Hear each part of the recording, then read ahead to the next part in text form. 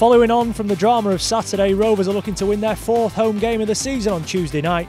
Richie Wellens' side came out the right side of a five goal thriller at the Keepmoat Stadium on Saturday, and now the task is to build on that. Cambridge have handled the step up in level well after winning promotion last season, but were beaten 4 1 at Shrewsbury last time out. It's yet another big home game for Rovers as they take on Cambridge United.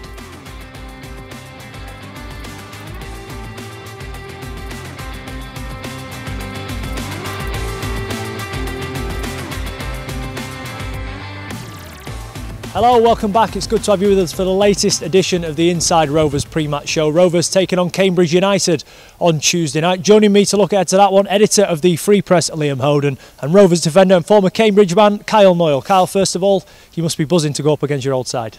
Yeah, definitely looking forward to it. Thanks for having me, by the way. Uh, yeah, no, looking forward to it, um, especially after today's result as well. Just hmm. um, carry some momentum into that game and push on from now. Yeah, you're well rested and, and ready to go again. Definitely, yeah. Before we get into it then, let's take a look at what's coming up on the show tonight.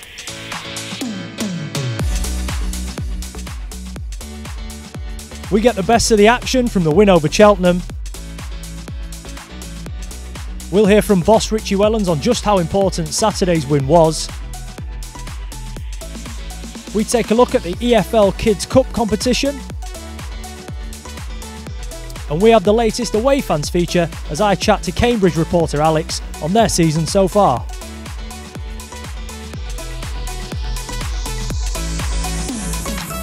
Plenty to go out then, let's get straight into it. Kyle, coming into this one, as I said earlier on, against your old club, a big game for both sides given both teams' results at the weekend.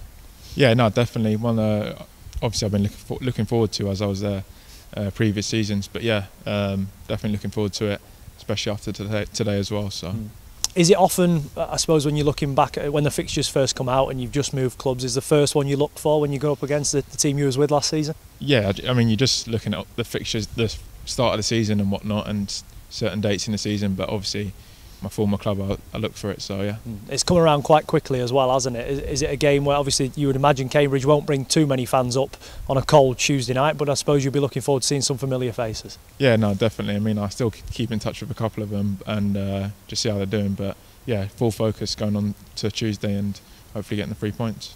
Liam, it's another game that Richie Wellens will have marked down as winnable in a, a, crucial sort of run of fixtures. Charlton away at the weekend and then Crewe after that. If Rovers can put together back-to-back home wins, it stands them in good stead. It'd be massive be massive, and they are winnable. You've not got the the thing of travelling. Obviously, we had that with, with Gillingham. It's an always difficult place to go, but yeah, a real chance to build a bit of momentum now. Richie Wellens spoke about it after the game uh, against uh, Cheltenham, saying that they've not that momentum. There's not really been that opportunity due to the international breaks. Another one coming round thick and fast. Plenty of confidence from uh, this latest result, and uh, take that into the next one. Of course, the result at Gillingham wasn't what anyone wanted, but to back that up with a win against Cheltenham, we'll take a look at the, the highlights shortly. But just to get that monkey off your back, if you like, and, and just have those three points. Rovers have, have, taken 10 points at home this season. All of their points have come here. It's becoming something of a fortress. Of course, a couple of defeats in there as well, but the three wins have been crucial. I think impressive again with the fact that Rovers started really well after, you know, a lot of disappointment on Tuesday night at Gillingham, you know, given how the game panned out. But they started really well, got on the front foot, stayed on the front foot as well, which mm. were real positive. Obviously, a bit nervy towards the end of the game, but yeah, that, that Richie Wellens has talked a lot about confidence and confidence remaining, and, and says other people are the ones that question confidence. And I think you can see why he's highlighted that uh, with, with the performance on Saturday. Kyle, just on Cambridge, of course, they lost you in the summer. They lost Paul Mullin as well, who scored a lot of goals last season. What have you made to the way they've adapted to, to life in League One after losing their two star men, if you're looking at it on paper, from last season? Yeah, no, they've definitely adapted well. Uh, their results to start off the season um, they've come up against some decent sides and they've held held their own. And uh, but for me, it's just full focus on what's going on here and mm. and on our mission, our goal and our to get three points really. What's it like when you come up against a team that you know a few bodies? Does it give you that? I suppose it gives you that inside information, but then I suppose the manager and the players will have that inside information on you as well. So it's a bit of a balancing act. Yeah, no, definitely. Like knowing the way them players um, they play, the things they do on the pitch, and obviously I'm going to have that advantage of knowing them as well. But like you say, they'll they'll know about me. Hmm. After what turned out to be a nail-biting finale here on Saturday, then here are the best bits from that win over Cheltenham Town.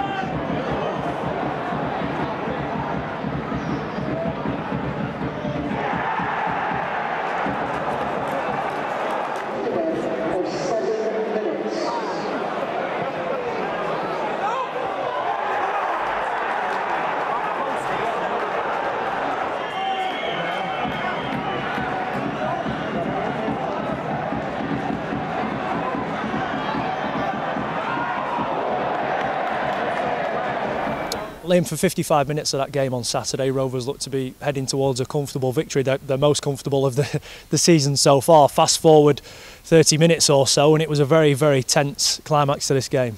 It really was. You know, a few nails been bitten towards the, the end of that one, but Rovers holding on. And yeah, they, if, thankfully, doing so, you know, take, it will take a lot of confidence forward from that one. A really big win uh, in what had been kind of marked out as not not quite a must win, but getting up there for one as well. But some really good stuff in that opening hour. Some really good play. Should have probably had a few more goals. Rode the luck a little bit at times, but how much have they? How much luck have they had this season? Not many, uh, not much at all.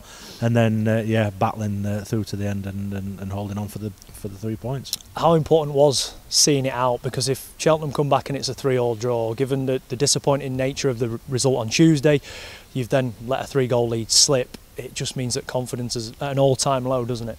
It does. I mean, the mood in here was very good for for a long period. You'd imagine, particularly when Andy Williams went up for that overhead kick late on, that the uh, the mood would have very changed dramatically uh, had that one gone in. But instead holding on and, and something to take forward. Kyle is a right back that loves getting forward and showing you what you can do in an attacking sense. What did you make to Ethan Galbraith's performance against yeah, he was, Cheltenham? he was fantastic today. He definitely my man of the match for that game.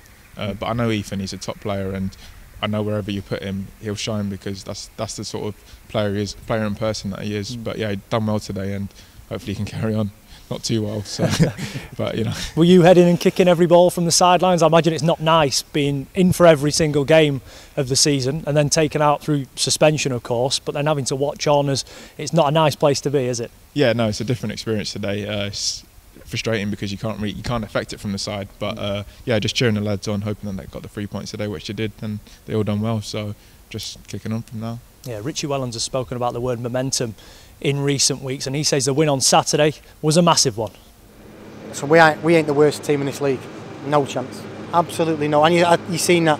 But football, for all its technical, tactical, all of these aspects of it, football for me is a psychological and mental game where confidence plays a huge part. And if you keep getting punches off decision makings or whatever it may be, then and things go against you, then it can take an effect. We needed this. This is the first chance now we've got where we've won the game. The last the other two wins we've had, we've then not seen four or five players for an international break for, for eight or nine days, and that momentum is just not but it's just not you know boosted as much as what we could have. This is the first opportunity now. Home game Tuesday. It's a really good chance to, to continue that momentum and build it.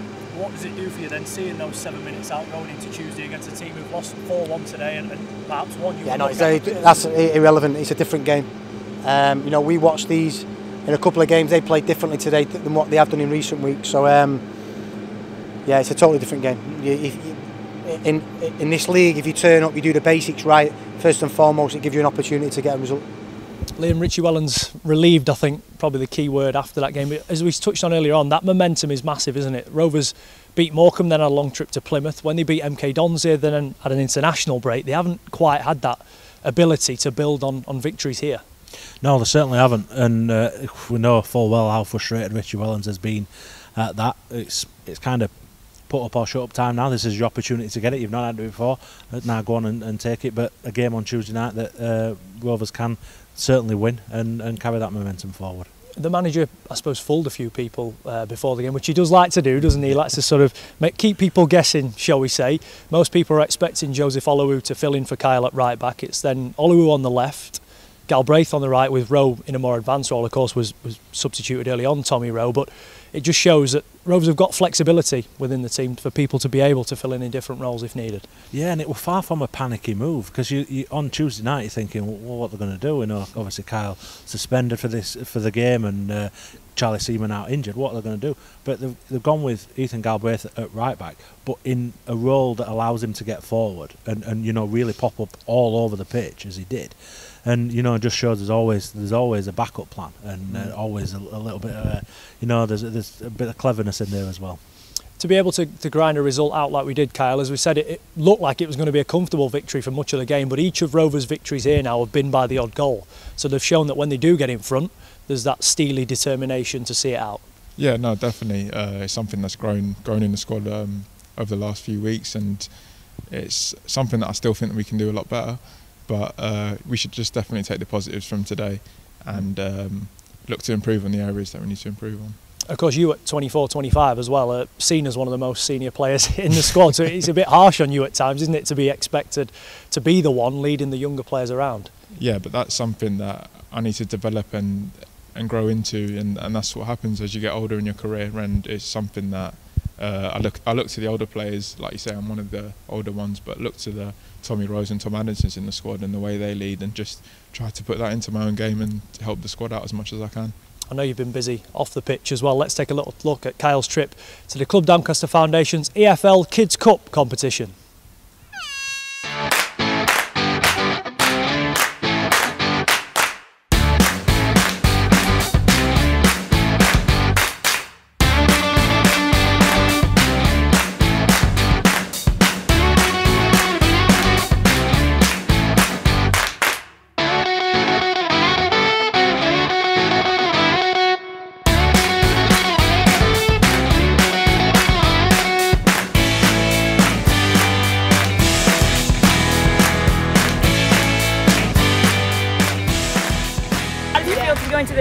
Stadium for the final? I feel sick. Kayo's done well, Hugo's done well, everyone's done well. And who's been scoring all the goals? Me. Me and Denise. Me! Kayo. Six. Kayo's. Thank you. And, and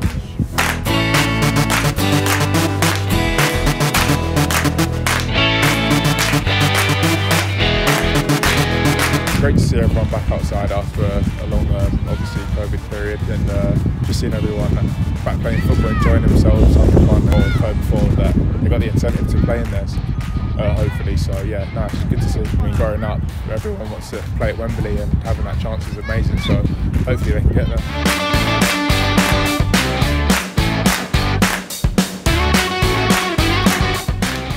Kyle, of course, the fans want to see you on the pitch, but away from it as well, there is often that uh, sort of thing to go out into the community, whether it's children, whether it's different people playing football. Is it nice to have a break from reality at times and, and get out to do those sort of things? No, definitely. I mean, when I was there, it, it reminded me of being at that age and kicking a ball around with your mates and just enjoying it, really. So, yeah, it's great to see the kids playing again, especially after COVID, where. Hmm it's been a long time. People have been indoors for a long time, so just to be out there in the community playing, and yeah, it's great to see. Of course, a lot of the player visits we've had to do, as you touched on there, in the last 18 months have all been on Zoom, and you don't really get the same feel for it, do you? So to be back in and around things must have been better for you. Yeah, no, definitely. That's that's the way everyone wants it to be. You know course, Liam, we've seen so many players in the past few years or so take that responsibility, and, and Kyle, the latest one of a long line.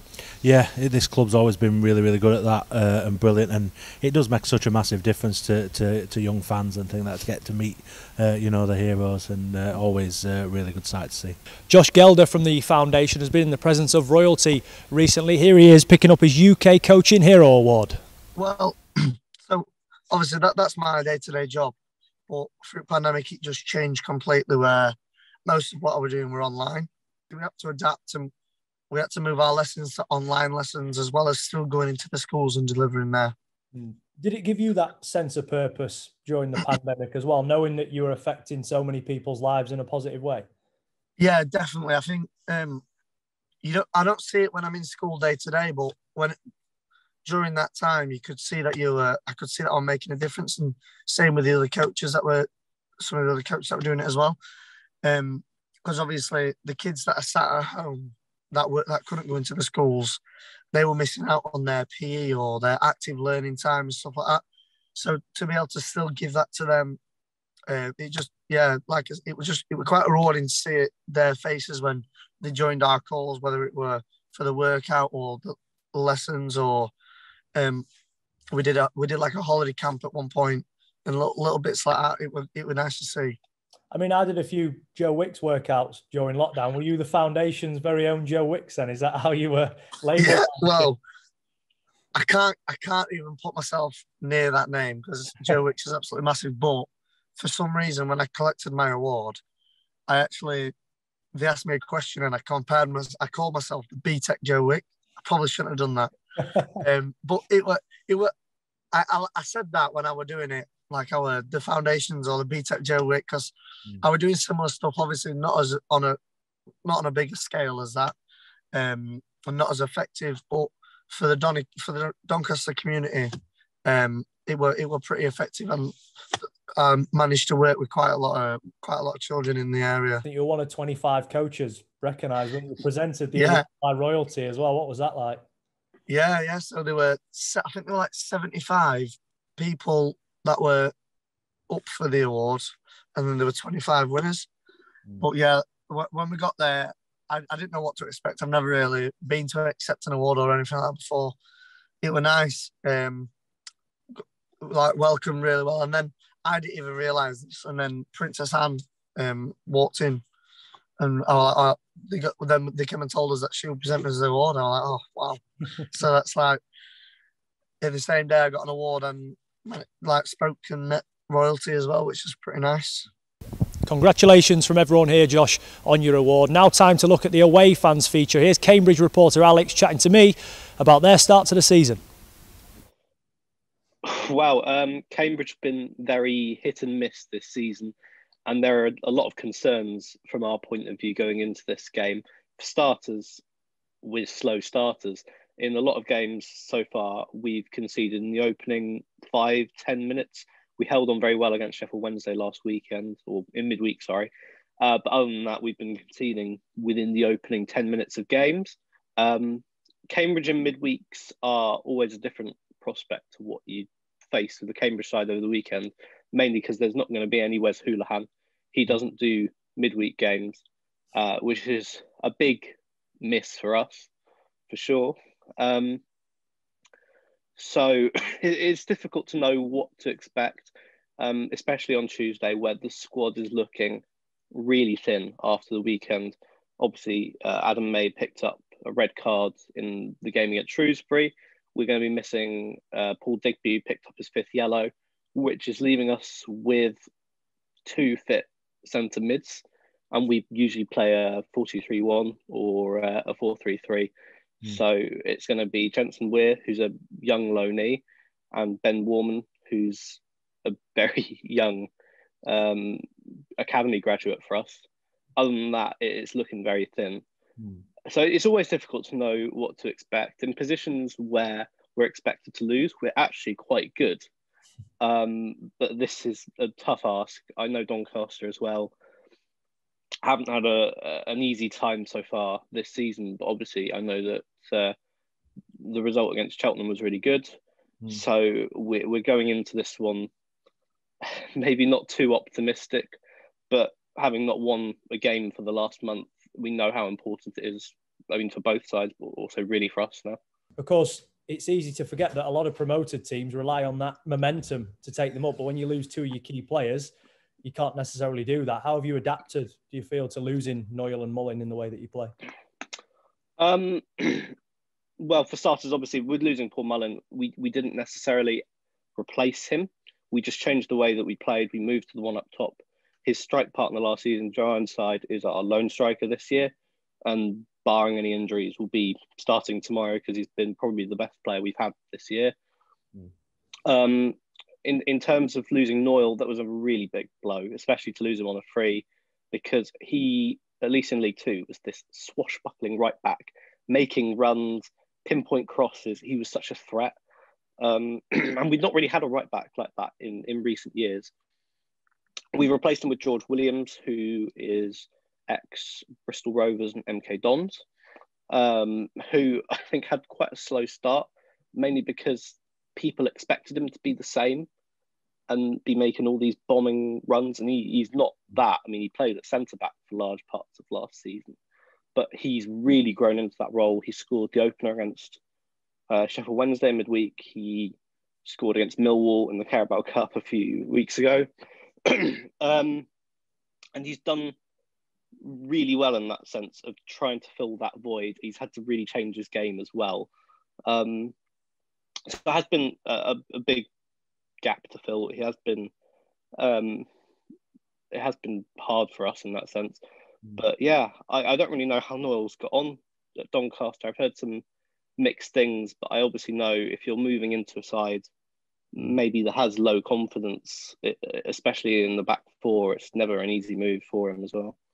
Yeah, he missed out on Saturday through suspension, but I'm sure he'll be chomping at the bit to to get back in on, on Tuesday night. Just just finally, then of course it's a game in hand for both teams. You currently sit three points outside the relegation zone in 18th. Rovers are a couple of points inside of it, away from safety. So a, a big game, really, isn't it, for both teams for different reasons? Yeah, absolutely. We don't want to get drawn into this relegation battle. Everyone predicted us to go down.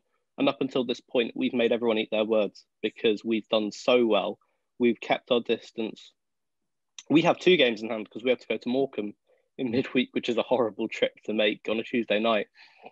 But yeah, um, it is a really big game, and I, it is going to be a lot of pressure on us because we know we don't want to get sucked into that battle. Kyle, of course, this one coming up on, on Tuesday night, a massive game for both teams. As I said earlier on, Cambridge not the best result at the weekend, but Rovers going into it off the back of three points. It would be a massive few days, wouldn't it, for, for you and the boys if you can make it back to back wins? Yeah, definitely. I think momentum's been mentioned a lot, and it's something that we need to get that momentum back going for us. And um, yeah, definitely going into that game, hopefully build from today's result onto Tuesday, get a positive result, and then keep building from there. Of course, away form hasn't been the best, but if you can keep picking up wins at home, does that then give you more of a chance of winning on the road, if you know what I mean? Yeah, no, definitely. We need to make this place a fortress. I mean, like you said, our points have come from home. We need to pick up on our away performances and results. But um, yeah, the more wins you get at home, the more the confidence builds, and then going into them away games, it gives you gives you a boost. The key is though, Liam, not to solely rely on home wins, isn't it? Because when they don't start to come, you've got to be able to go away to Charlton next week, to Crewe on the Tuesday night after, and pick up results as well. You're not going to get far if you're winning one, then losing a couple, and having to wait for the next home game to come.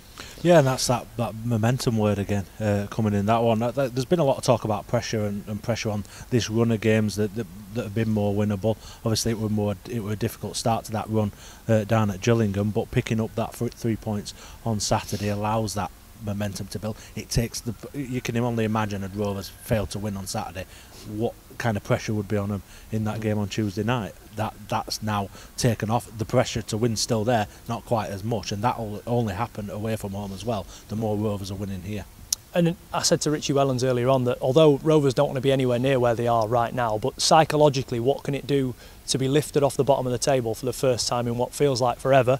It's only one place, but it is one place, and that's all that matters. Well, for a long time, you, you go into games and be decent performances, just like at Gillingham, that performance in the first half, and not come away with nothing, and then you're still at foot, foot of the table. Another week goes by, you're still at the foot of the table. That's massive. Rovers have been down there for quite a long time in this season. Moving off of there is, is huge, and it suggests that they're on the upward curve. Mm. Kyle, Rome wasn't built in a day, was it? So, how much is that uh, a nice thing for the lads to look at? You look, you probably watched the EFL show tonight, enjoy watching the highlights. At, well, maybe the first 54, 55 minutes, but then you're happy, aren't you? You get up on Monday, you go to work, ready to build on what's been done on Saturday. Yeah, definitely. I mean, you've got to take each game as it comes, and like you say, just keep building on uh, positive performances and also positive results. But the result is what gives you the boost. You know what I mean? And knowing that fixtures are coming up against the likes of Cambridge, Charlton are still down there, albeit with a good result on Saturday. Crewe as well, who are now bottom of the table. It just gives you that urge, doesn't it? And you think, well, if we could pick three or four wins up in a row here, we could be all of a sudden in a completely different position. Yeah, no, definitely, I agree with that. But like I said, you just got to take each game, each opposition as it comes. I won't push you for a definitive score prediction on Tuesday night coming up against your old club, but how do you see the game going and where can Rovers win it? Um, I just see a, a win for Rovers really. Um, I see a positive performance and just building on what, what we see today and um, like I said, doing the taking the positives from today's game, putting them into that game and improving on the little areas that we can. Hmm. Liam, Go on then, give us a score prediction. I'm going to go for 2 0, a, a, welcome clean sheet with Kyle back in the team. Liam, Kyle, thank you for your company tonight. Cheers. Thank you at home for watching on as well. Get down to the Keepmoat Stadium on Tuesday night, the second home game in the matter of three days, as Rovers take on Cambridge United.